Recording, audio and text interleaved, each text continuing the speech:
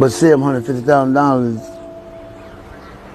ain't what I would call compensation for forty four years of a man's life that was intentionally put in the penitentiary. I was 20 years old when I left the street. My mother was 42. My dad, he was 45. For 44 years, I didn't spend no time with my mother and father. My dad died. Last thing my sister said my daddy said,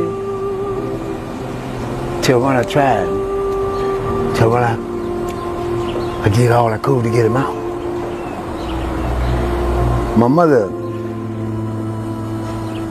my mother died 30 days before I got out.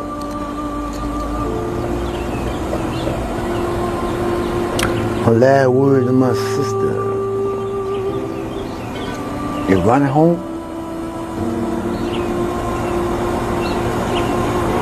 You tell me what that's worth.